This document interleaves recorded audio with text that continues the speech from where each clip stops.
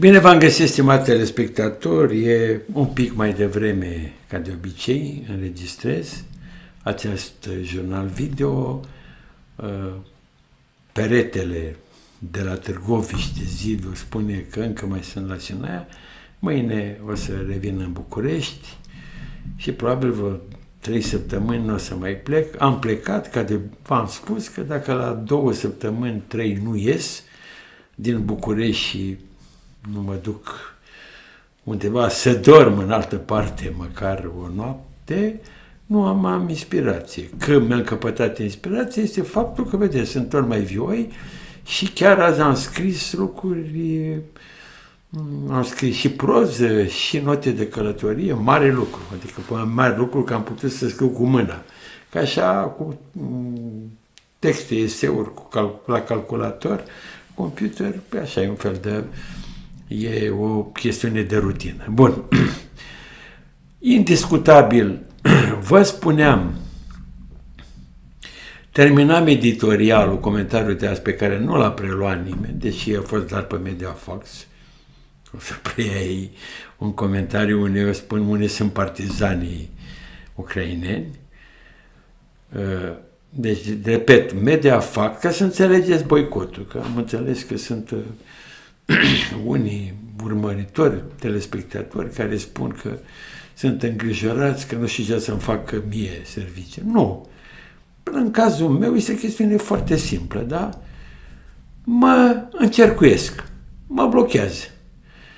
Deci eu am, potrivit înțelegere cu Adrian Sârbu, tot ce scriu eu la Gândul Hristos sunt preluate în Mediafax, care am înțeles că, nu știu, potrivit contractelor, îl distribuie, adică pe agenție. Și de uneori, ales știri pe se mai ia câte un text al meu. Acum nu l-a luat nimeni, cu ei un text care pune la îndoială punctul de vedere al Uniunii Europene, al NATO și al lui CNN Antena 3. Bun, dar vă precizez pentru cei care mă mai urmăresc, numărul sunt vreo 50.000 de abonați care mă urmăresc aici sau la alte podcasturi, că eu sunt dincolo de bine și de rău. Nu mă interesează. Eu, de fapt, fac acest podcast că, ca să vorbesc cu mine însumi. Cine vrea să uită, cine nu. Cine citește, cine vrea să citească, citește, cine nu. Din 1990, de când am debutat în presa democrată, am scris într-una, am lucrat, am zis 99% din profeții s-a îndeplinit, dar nu sufăr dacă nu mă comentează nimeni, dacă nu zice nimeni, deși dacă eu aș fi fost uh, șef la un trus sau la televiziune, inclusiv din străinătate, l-aș fi luat pe Hristos pentru că a avut cel puțin eu două puncte de vedere. Unul care era uimirea mea că are loc referendumul și a doua că acest referendum s-a desfășurat în cea mai deplină nu legalitate, perfecțiune, netulburare. și spuneam în finalul pastilei, dar și în finalul comentariului meu scris, pe care nu aveți unde să-l citiți decât pe Cristoiu Blogro, un mare lucru. De asta nu mai căutați în altă parte, căutați pe Cristoiu Blogro și spun asta nu pentru publicitate, ci pentru că aici găsiți numai aici ce cred eu. Și, și alte texte, cum a fost ale Eugen Mihaescu, care sunt în afara Uh, adică scapă cenzurii uh, guvernamentale, cenzurii actuale puteri și care, ca și în pandemie, contrazice punctele de vedere publicate de mine, dar și de alți colaboratori, contrazic punctele de vedere oficiale. E singurul care le fac, adică ridică întrebări. Acolo unde puterea, atât la nivelul Uniunii Europene, cât și la nivelul NATO, cât și la nivelul Europei, cât și la nivelul României, le spune, băi, voi să credeți asta. Eu, ca de obicei, zic, dar de ce? Și spuneam în final că această netulburare a referendumului, care și netulburare nici măcar inventată, pentru că dacă vă uitați o chestiune ciudată, în timp ce știu, toate site-urile sunt pline de convorbiri între soldații ruși care nu vor să meargă la uh, ăsta, la mobilizare și uh, în, în cadrul unei campanii care mi-e limpede de un efort al americanilor de a face un fel de, uh, de, de prăbușire a Federației Ruse și a regimului Putin prin, inter, prin stimularea revoltei față de mobilizare, așa ar face și rușii, în altă parte bănesc că fac și ei. Deci în afară, deși e plin, deci repet, de înregistrări, de discuții între soldați care îl înjură pe Putin, nu a apărut niciun clip, deci nici măcar născocit, că astea sunt născocite, despre rezistența ucrainenilor din teritoriile ocupate față de referendum. Această, acest ordin este un ordin dat și lui Zelenski de către Occident, mi-a spun eu în final, e neliniștitor. Și zice, mă, zic, înseamnă că există un interes al americanilor ca acest referendum să se încheie, ca să aibă loc alipirea pentru a pregăti ceva. Și tocmai când mă întrebam eu, astăzi a venit, a venit răspunsul. Este vorba de exploziile prin care s-au dat găuri la conducta Nord Stream 1. Conducta Nord Stream 1 este o conductă de gaz, că Nord Stream 2 nu n-a mai funcționat, între Rusia și Germania. Această conductă, prin ea se curgea gaz rusesc către Germania, da? La o, a, deodată, această conductă este găurită printr-o operațiune specială limpede, da? Și sigur că uh, Robert Turcescu, când am avut la ora 12 podcastul cu el, a pus uh, faimoasa declarație a lui Biden uh, din februarie, dinainte de declanșarea războiului din Ucraina, în legătură cu Nord Stream, că uh, dacă nemții nu vor să renunțe la Nord Stream 2, el e o mijloacele. Robert Turcescu a văzut în asta o probă că sunt amestecați americani. N-am nicio îndoială că sunt amestecați. O să spuneți, dar ce interes aveau americanii să facă un asemenea dezastru? De ce aveau interes? La ruși nu discută, adică nu cred că suntem atât de tâmpiți, nu cred că printre noastre sunt oameni, suntem oameni luciți, de aia alcătuim o comunitate. Comunitatea alcătuită din mine și dumneavoastră care mă urmăriți, cu care cred că sunteți de acord cu încercarea mea de a fi lucid. Deci, în primul rând, că conducta e a rușilor, e a lor conductă, a băgat banii în ea, cum să o găurești.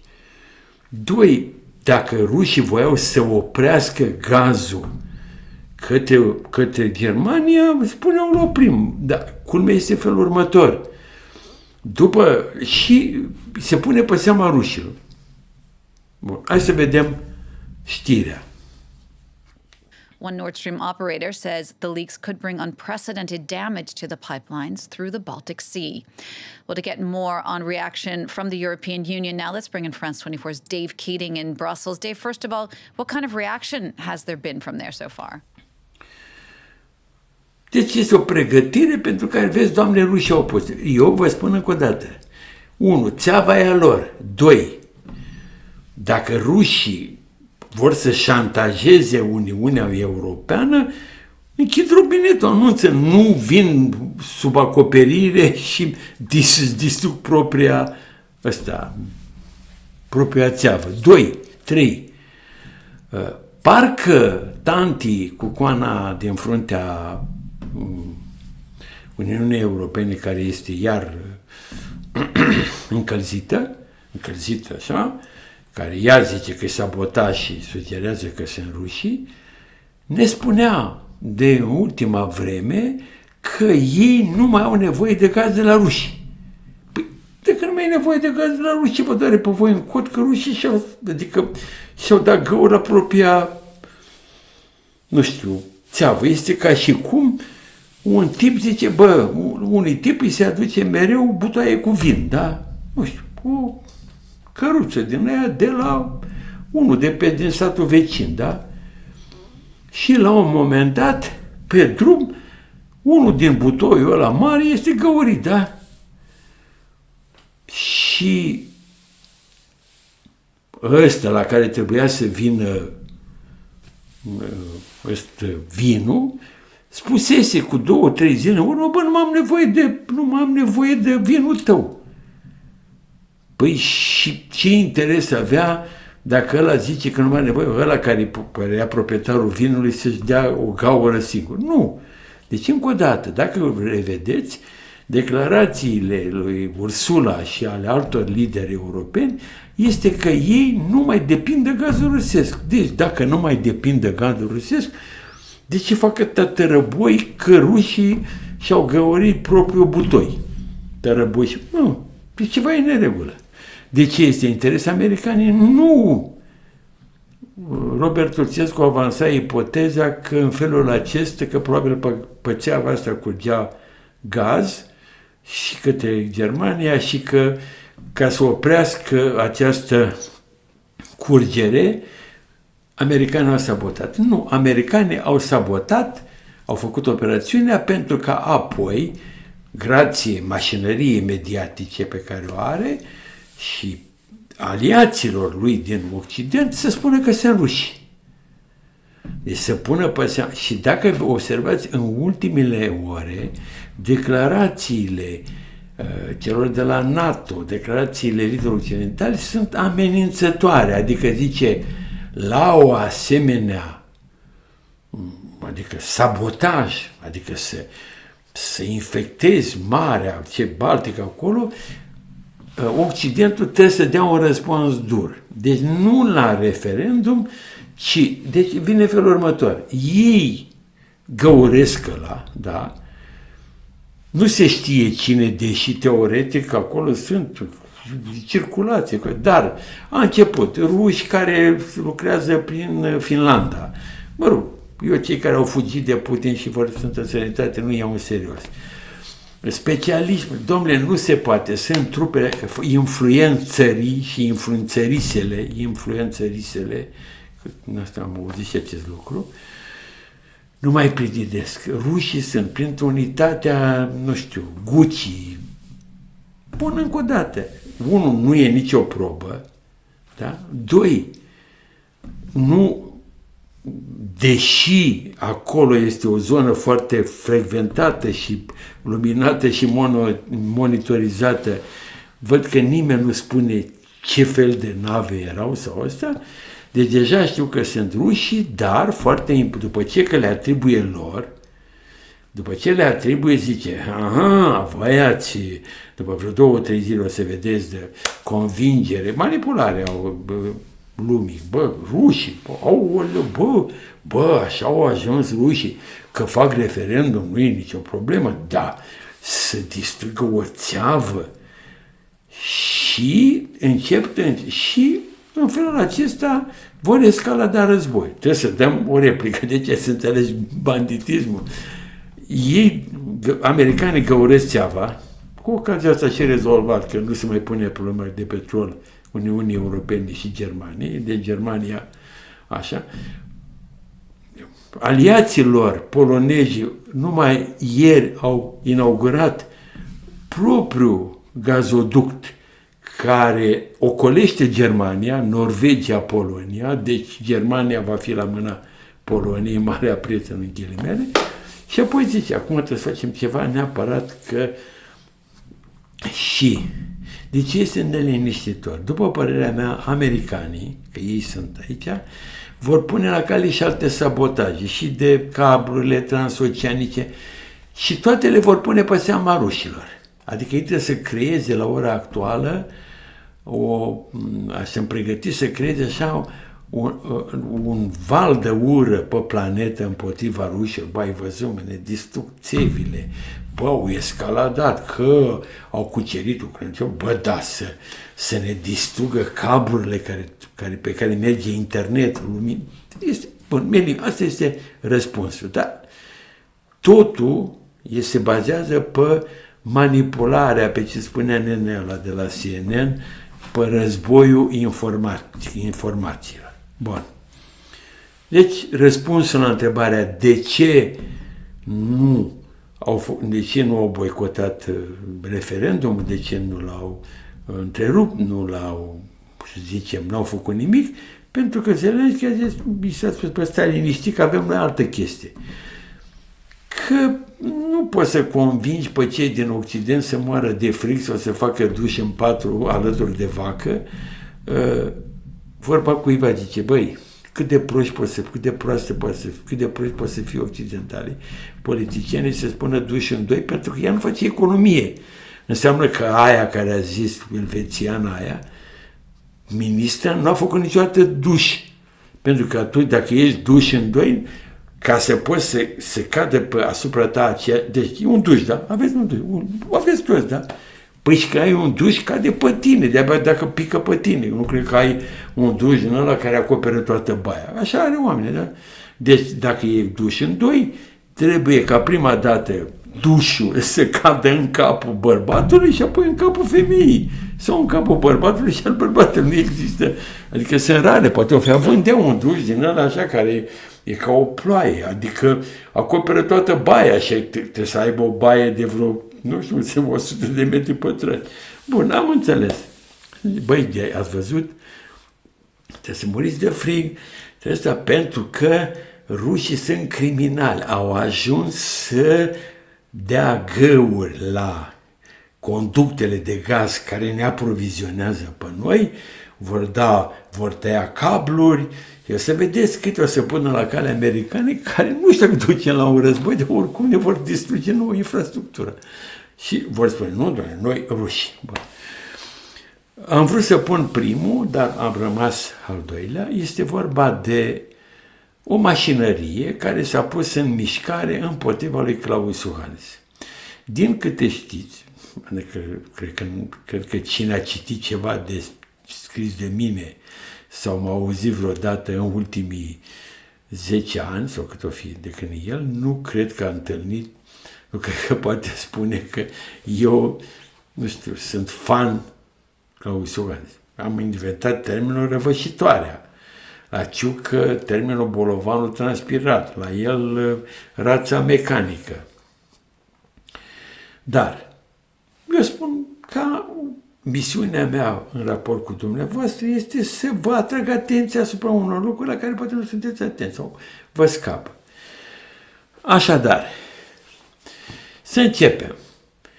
Profesorul, uh, ministrul învățământului, Câmpeanu, a fost, am avut un interviu cu el. El este profesor, profesor universitar, proiector, prorector. Bun. Mie mi-a plăcut.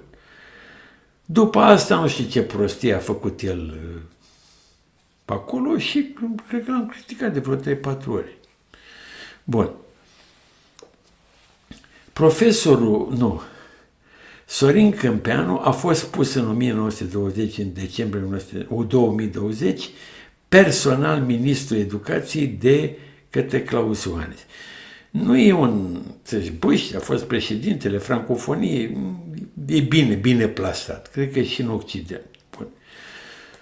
La el este piesa de bază a lui Claus Iohannis pentru aplicarea României educate. El și-a asumat acest program prin care Claus Iohannis crede că va rămâne în istorie, așa, la nivel de, cum să zic, fără fisuri.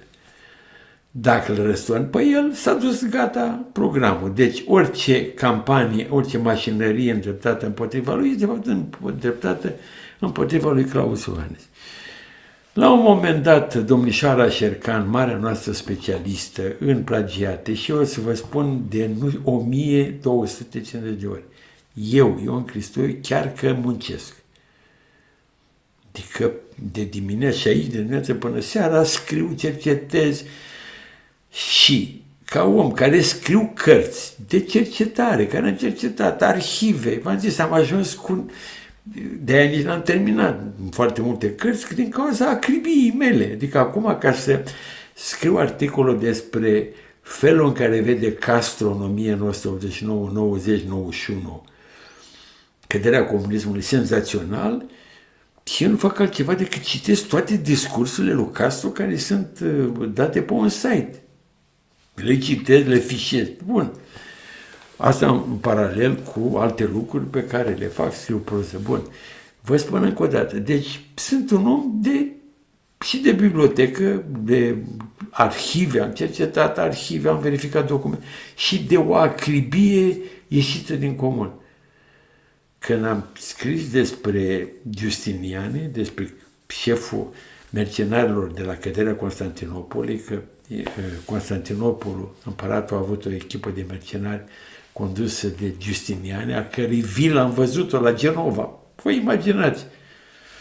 M-am dus special, nici nu știau ei din Genova cine e el, și am și scris. Am citit și în traducere franceză cronicare turci despre căderea Constantinopolului. Bun.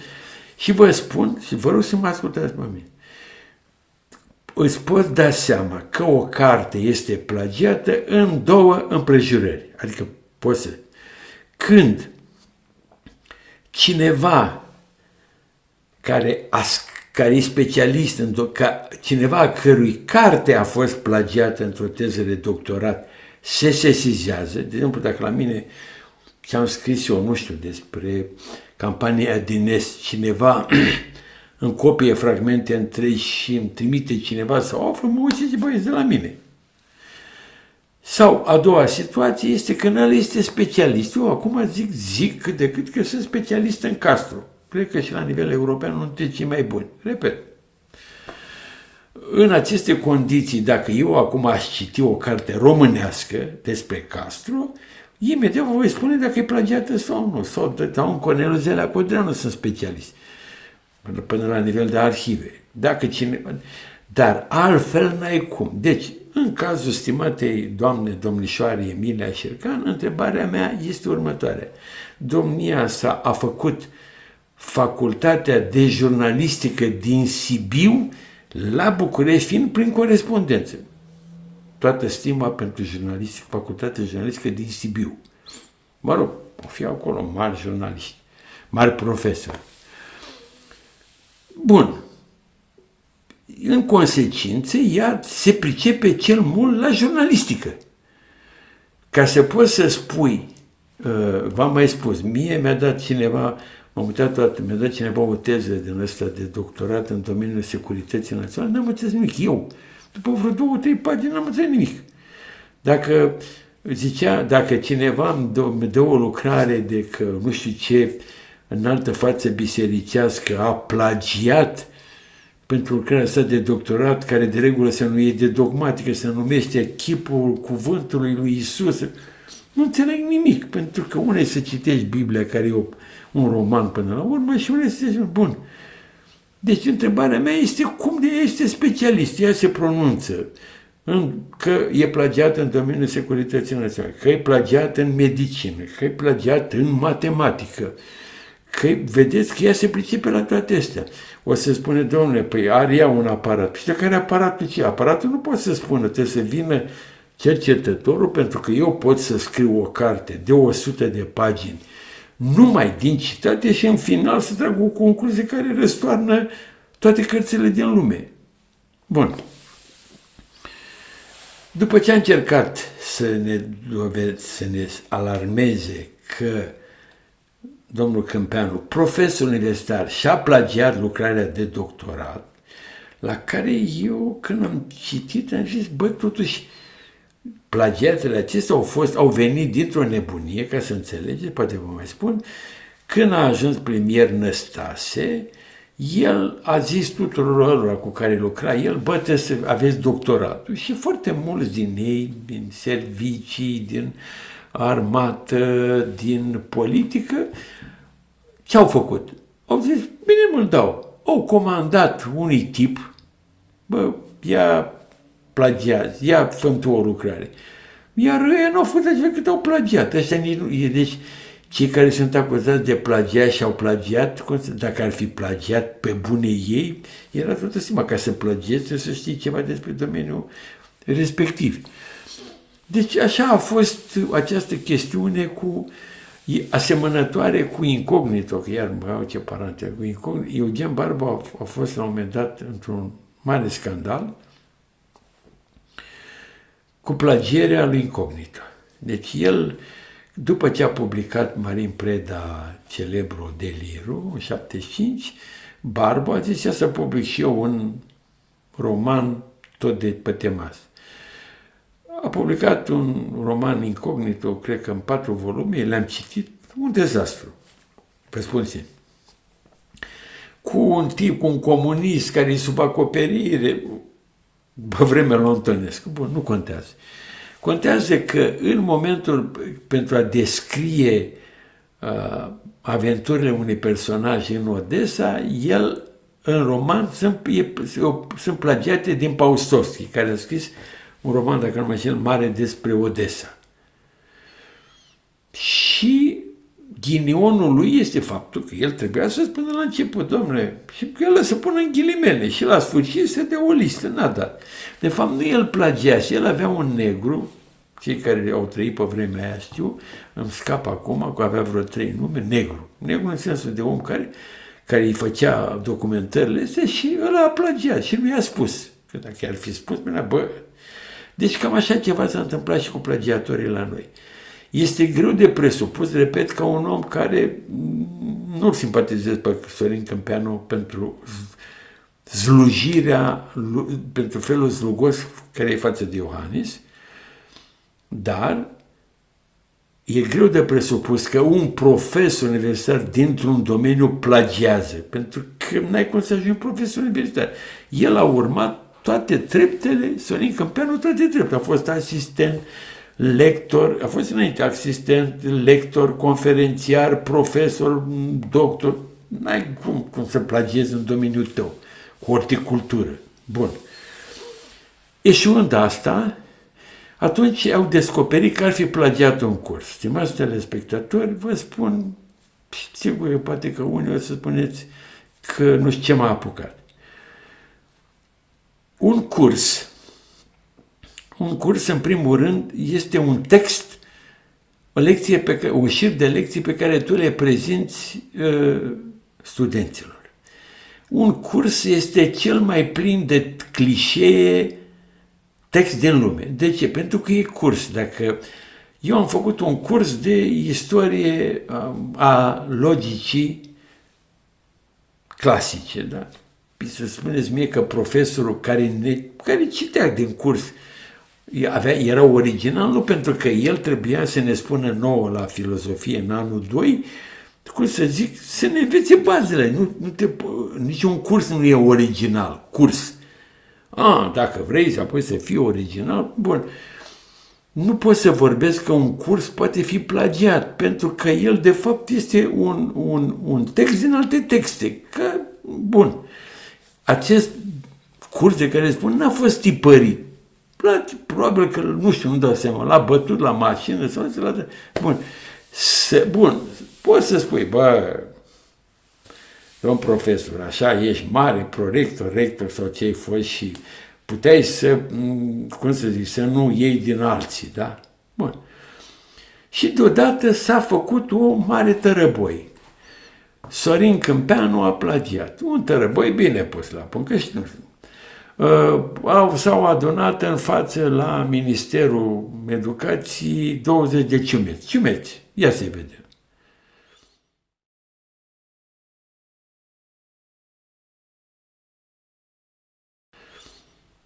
Stimați telespectatori, fiecare de acolo prezent are o problemă. Tudor Giurgiu uh, vrea probabil o, de la USR o friptură numită comandă, că el e nebunit.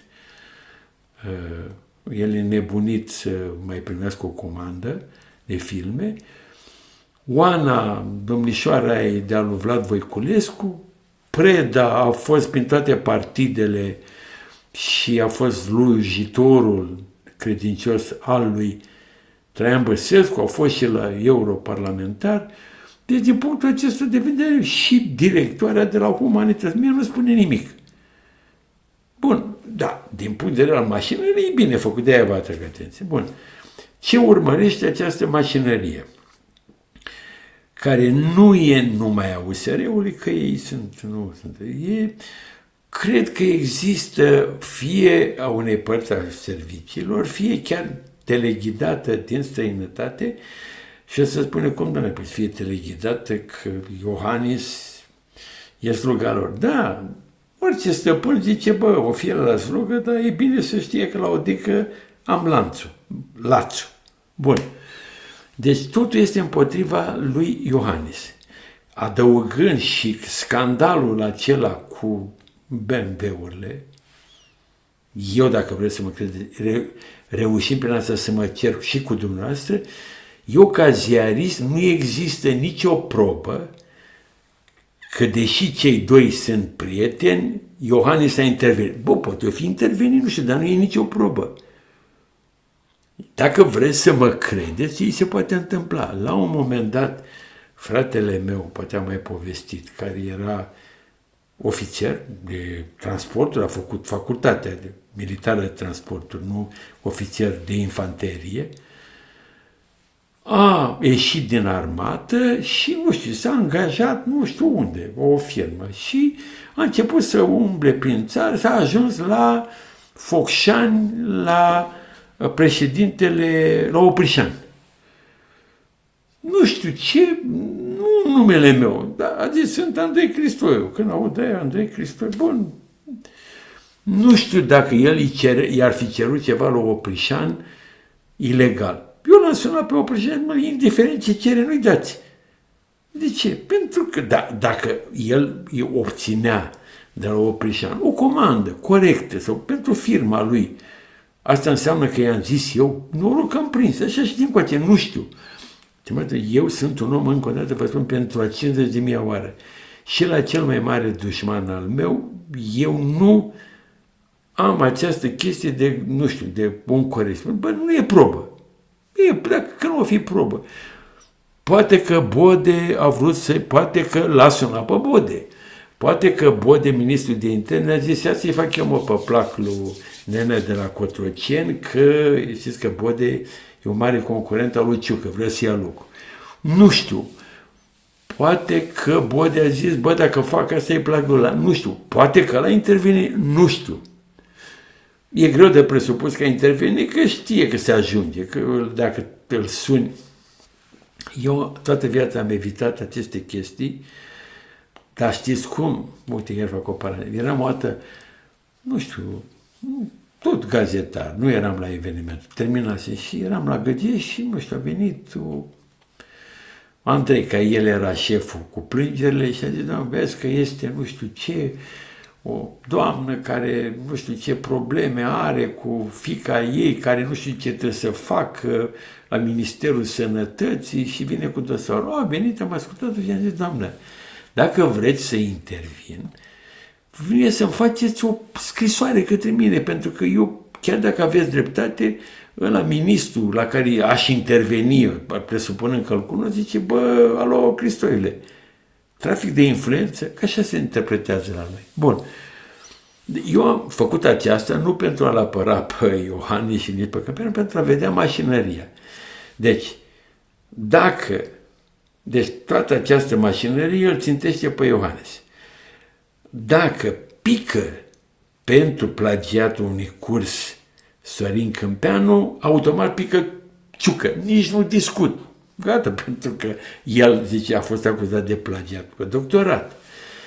Dacă pică, deci asta este o dublă, asta este o lovitură și pentru Iohannes, că pierde ăsta, premierul, începe nebunie, trebuie să face un alt premier, bătăi de cap toată construcția lui pe care a făcut-o, se duce dracului, da. Dacă pică Sorin Câmpeanu, nu, indiferent cine va veni, e greu de presupus că el va fi atât de slujitor al Iohannes în programul România Educată. Se duce și programul ăla, proiectul ăla pe, pe care Iohannes pariază. Deci, la ora actuală avem în România, nu știu dacă cu influențe din afară, o mașinărie perfect de bine, perfect de bine la punct, pusă la punct, perfect. Nu, pusă la punct perfect. Pusă la punct, dacă O mașinărie perfectă, da? Dacă ăsta nu demisionează sau nu e dat afară, atunci pierde PNL-ul. Nu Iohan. Iohannes pierde, dar el PNL-ul. Și atunci este o situație aproape fără ieșire. V-am explicat asta pentru a înțelege, nu critic, nici pe cei care o pui bătălie politică. O să spun, și Iohannes a dat, a făcut bătălie, a dat și a fost incorrect în bătălia politică, Sorin Câmpeanoșești. V-am povestit asta ca să înțelegeți esența vieții politice de azi este că este această bătălie. La demonstrația aceasta de cei 20, nu s-a dus, s-a dus o singură televiziune B1. Dacă mă întrebați pe mine, eu aș fi trimis indiferent la ce televiziune lucram. De ce? Pentru că e o știre. Adică pot să vin după asta și dacă eram frate lui Sorin Câmpeanu. Vă spun ca gazetar. E o știre, bă, 20 totul, sunt personalități, nume mari. Stau acolo și în fața ministrului educației care e din aceeași tabără cu ei, că ei nu sunt acolo pesediști sau auriști, aulă. sunt chiar oameni din domeniul și atunci este o știre. Pe mine m-a mirat că celelalte televiziuni au trimis, că, a, că după asta vii seara și spui ceva, dar trebuie să dai știri, e știre, nu poți, știrea nu poți. Știrea și dacă e împotriva ta o dai și după asta o interpretezi. Bun, în final, mai am și alte teme, dar nu mai discut. Am vrut să văd ce se mai întâmplă lui Putin. Și unde puteam eu să mă duc la evenimentul zilei. Ziar despre care unii spun că l-am fondat, unii spun că am făcut un ziar mare din el, unii leagă numele numai de evenimentul zilei și în plus la care am două podcasturi. La evenimentul azi am avut cu Turcescu, ieri am avut cu Ionus Cristache. Bun ca să mă documentez ce se întâmplă în războiul din Ucraina și în Rusia. Unde să mă duc? La evenimentul. Ziar quality. Ziar care e condus de doi, de trei oameni. Simona Ionescu, Dan, Dan Andronic și Mirel Curea, care pretind ei. Eu nu, că au urmat școala mea. Pretindeau. Eu nu am zis niciodată Bă, și au fost buni. Și atunci, unde să mă duc? Mă duc la ei, mă duc să mă duc la, nu știu, sport, media. Nu. Și citesc.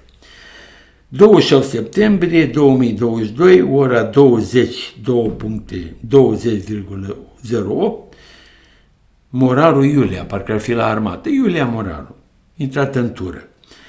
Titlu, Complot la Kremlin. Punct. Oamenii importanti discută despre înlăturarea lui Putin. Două puncte. E timpul ca Vova să se îmbunăvească. Oh, când am citit titlul ăsta, m-am îngălbenit. Știam că Putin mai avea un pic și murea, n-a murit. Mai avea un pic și era dement, nu era dement. Mai avea un pic și era bețiv, n-a fost. Acum, oameni importanți discută despre înlăturarea lui Putin. Oh, Bun, hai să citesc. Apropiații lui Putin fac deja planuri pentru a-l înlătura de la putere. Vai, ce știre, ba! Să mi-o notez neapărat că pentru mine, comentator, e fundamental. Există două opțiuni care vizează, însă cel mai probabil liderul de la Kremlin va fi un înlocuit cu o figură mai credibilă, ghilimele, spune Leonid Nevzlin, om de afaceri ruso-izraelian și fost șef al gigantului Iugos. Leonid Nevzlin este un afacerist rus, un oligarh, care a fugit din Rusia în Israel după 22 februarie. Și de acolo îl înjură pe Putin. Mă rog, din start, nu e sursă. Păi e ca și cum ați considera nu știu, zice, am și eu dușmăniile mele, mai pe mine surse de informații, nu de păreri. Bun.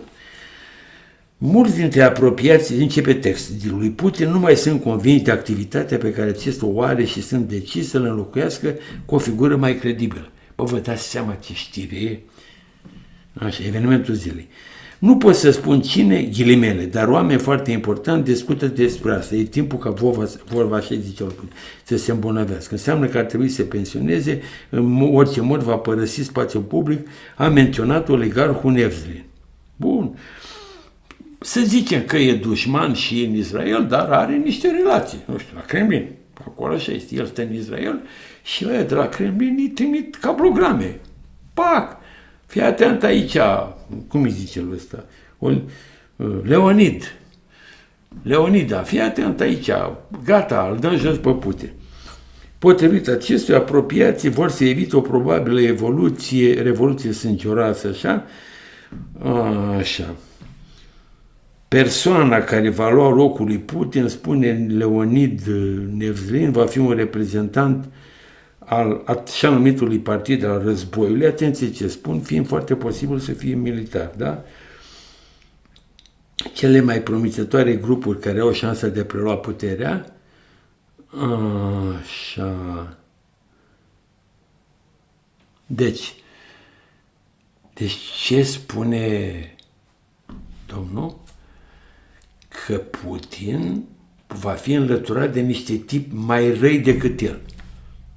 Opa, eu când aud asta zic, bă, a pus la cale Putin asta, că na, cum mă pot apăra eu? Bă, dacă eu plec, mă dați afară, vine unul mai rău ca mine. Rău cu rău, da, mai cum e? E rău mai mic. Și atunci am zis, mă, stai puțin, stai puțin așa. Așa. Cine va fi nou conducător al Rusiei? Așa. Și hai să m-am dus să văd, să văd sursa. Deci evenimentul zilei, ziar Quality, condus de trei personalități ale presei actuale românești, da? Un ziar legat într-un fel de numele meu, un ziar la care eu am două podcasturi de această știre, informație tare, precisă. Uh, mai spune că mm, ăștia că oamenii din jurul lui Putin sunt deja enervați și vor să-l răstoarne. Bun, băi, hai să vă sursă, zic, mă, ăștia de la evenimentul zilei și tare. Tare, adică ziar quality de tradiția lăsată de mine, zic, băi, au niște surse, adică ei au stat de vorbă cu Nezlin ăsta, adică ăla păcurarul de la SRI, păcurarul care a fost colonial, poate că îl cunoaște pe Leonid ăsta și lui i-a declarat că e citat. Și când mă uit aici, sursa e ziare cum? Cum adică ziare cum? Adică evenimentul zilei, marele ziar, dă o asemenea știre, o ia în serios și o, o, o ia ca sursă ziare cum? Băi, oameni, putem oameni normali. Păi este ca și cum eu pe Cristoio blog, ro, aș da ca sursă gazeta de perete de la fabrica de confecții. Nu că pot să zic, la fabrica de confecții, la gazeta de perete a apărut o poză de șucheată. Dar nu pot să zic la... Uh, uh, nu, să zic în genul urmă, adică eu să zic așa, uh, se pregătește o mare revoltă în București, uh, cu tare, cu tare, va fi sângeroasă, Nicu Șordan va fi aruncat, va fi locuită cu, locuit cu Gabi Firea și să zic la un moment dat, zice gazeta de perete de la fabrica de confecții. Că așa zice, bun. Mă, ia să vedem ziare cum. Pentru că ei citează ziare cum. Bun. Mă uita la ziare cum, da? Este timpul ca Vova să se îmbolnăvească. Deci ziare cum a zis, a dat, prost, a dat chestia asta la 16.47. Cer cu... Oh, stați așa, nu mulțumesc. Vă reaminte, această știre o dă la 1647. Vă reamintesc că Ziare.com este sursa de pandemie manipulatoare, de infect, pandemie de fake news-uri din presa românească. ea a dat prima dată povestea cu Patrușev, care a văzut, a plecat, a fugit, dar nu se mai știe nimic de el. Că a fugit în China să-l răstoarne. Nu există toate, nu există mai fake news-uri pe lumea asta decât cele date de ziare cum sub semnătura unui redactor care m-am uitat, care e același, care e cronicar sportiv. Nu cred că știe rusă cu tare. Bun. Așa. Și faptul, această știre este preluată, text așa, de comisarul, vă imaginați, și numai de două zi, de comisarul de evenimentul zilei. Ce îmi spune? Că ziare com, apoi probabil o să-l preia și alții, n-aveți nicio grijă, că era pe la pat. Ziare com, știți, ați văzut vreodată un șgheab care se dă mâncare la vaci? Mai multe. Se pune așa niște din ăla și ăla se duce și fiecare vacă, iertate, nu spun că site-urile sunt vaci, fiecare animal, animal, mănâncă. Așa și din coace. Cineva, și v-am spus cine, o instituție, pune câte un fake news din ăsta și din ăsta, cu blogger, cu ăla, cu, cum ați zis, cu ați văzut, oameni care, cu Farada, au dat și ei, au dat primul cu Farada, aia care a dispărut, da? Și dau cu, și cu Farada aia care i-a pus la mână între picioare și ea nu știa ce se întâmplă cu el. Pentru că numai, încă o dată, nu poți să ai acces. Și atunci, hai să vedem, mă, zic, normal este ca cei de la ziare com care au dat prima să citeze sursa, adică omul ăsta a vorbit la radio, a scris pe Twitter, a scris pe Instagram, pe canal Telegram, pe, a vorbit la Radio Israel, la Radio Europa Liberă. Nu!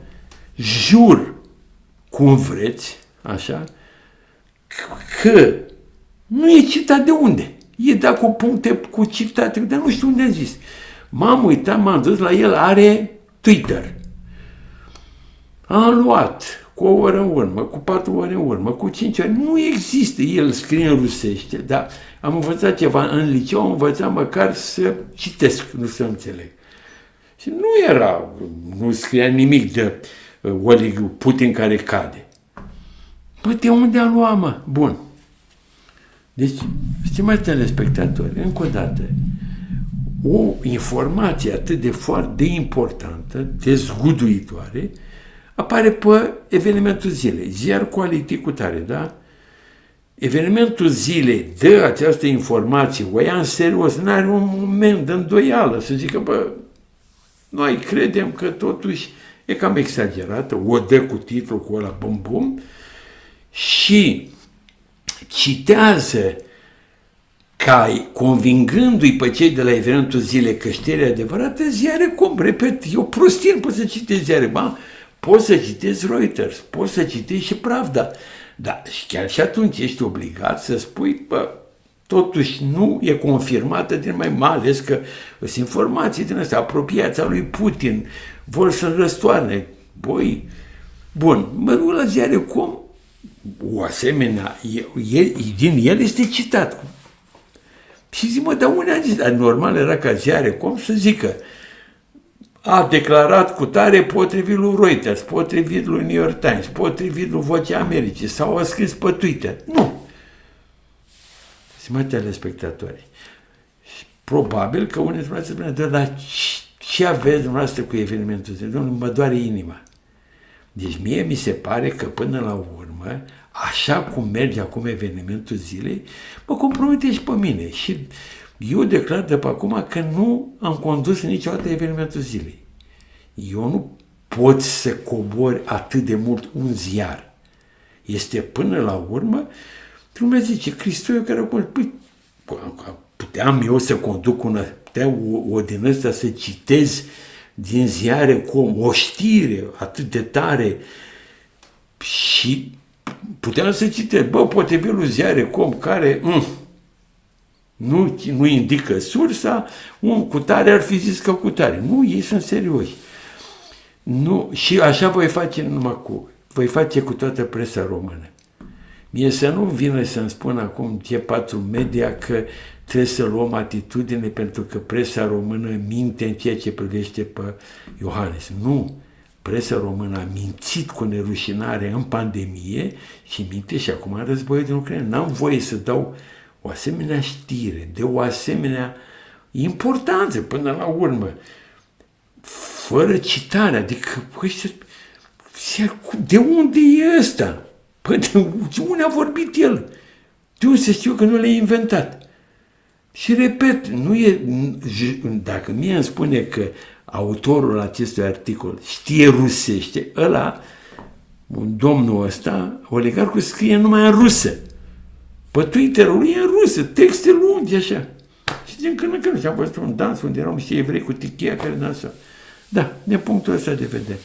Deci eu voi face pentru noastră, cu orice risc, cu riscul de a mă certa cu toată presa română, pentru că mie mi se pare incorrect ca ziariști, ziariști, unii care se pretind ziariști, să contribuie la tâmpirea dumneavoastră. Și în felul ăsta vă atrag atenție. Păi, e o tâmpenie. Adică, dă-mă dacă, dacă știi ce, dacă ar avea, nu știu, surse, dă, nu dai nimic de referendum și dai de apropiații lui Putin care au pus la care să-l răstoane și dă și niște nume. Bun, mulțumesc, la revedere!